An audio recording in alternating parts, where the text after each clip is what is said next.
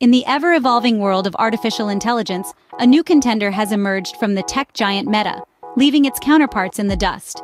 This innovative tool, known as LLM, has rewritten the rulebook, raising the bar higher than ever before. While previously AI tools could only dream of such capabilities, LLM has made them a reality.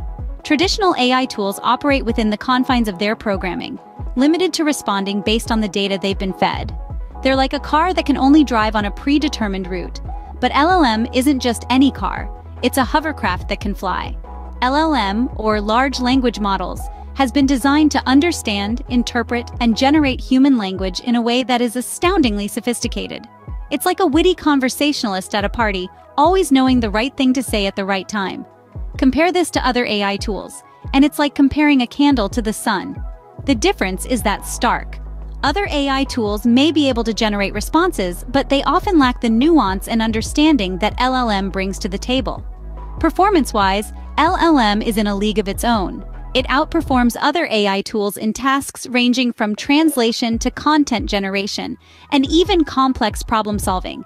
It's like a Swiss Army knife in a world of butter knives. Now, let's summarize what sets LLM apart.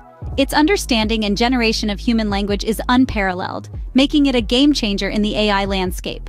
Its performance across a variety of tasks is superior to other AI tools, making it a versatile and indispensable tool in the tech world. In the world of artificial intelligence, LLM is a shining beacon of what is possible. It's a testament to Meta's dedication to pushing the boundaries and redefining what AI can do. The future is here, and it's spelled LLM. Tune in next time as we delve deeper into the workings of LLM and how it's revolutionizing the world of artificial intelligence. Until then, remember, the future is not something that happens, it's something we create.